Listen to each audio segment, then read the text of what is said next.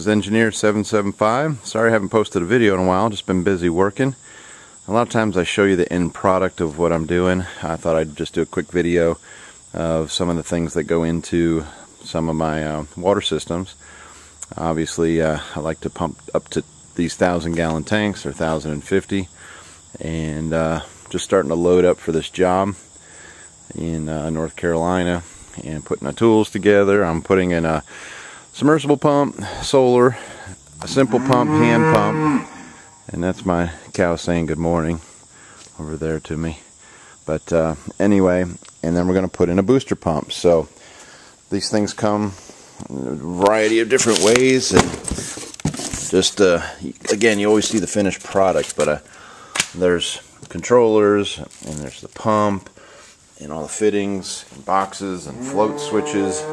And then I'm just pulling everything together that I'll take with me, tool wise, and um, wire, and plumbing fittings, and batteries, pressure tanks, and so it all comes into the shop and is a seemingly a chaotic mess, but uh, filters and and a lot of plumbing parts.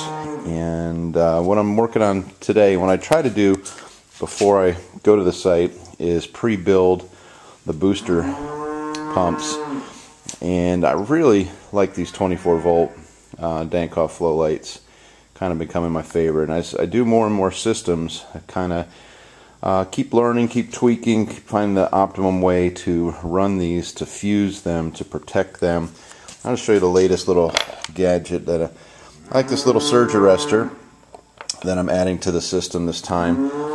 And what happens if there's a high voltage, a local lightning strike or whatever, that the power will be diverted from from the the positive and negative feeds to the ground. And so it's important that the systems are grounded. I ground, um, I put two grounds in on these typically and then my little battery charge controller which again see the 24 it's 24 volt 24 volt booster pump 15 amps.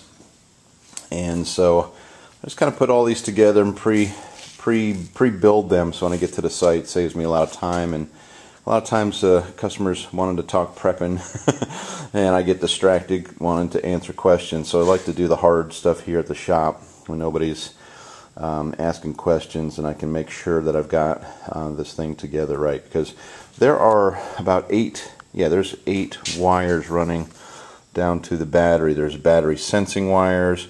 There's the solar charging circuit. There's a lot to it.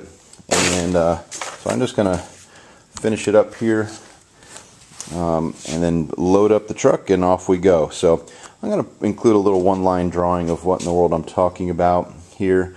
So a lot of people are it, it is hard to follow some of my projects just because of the amount of time in a YouTube video.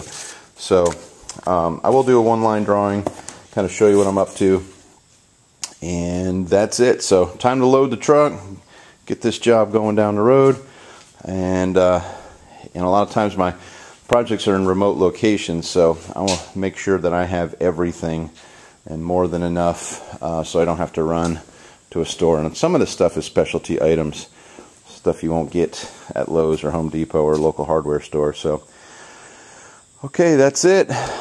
Engineer 775 signing out from the shop.